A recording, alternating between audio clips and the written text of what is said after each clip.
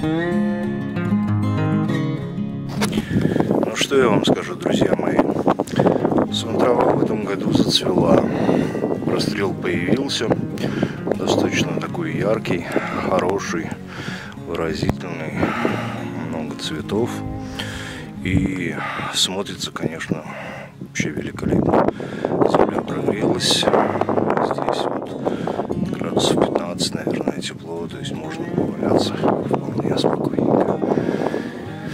Вот, краснокнижные цветы.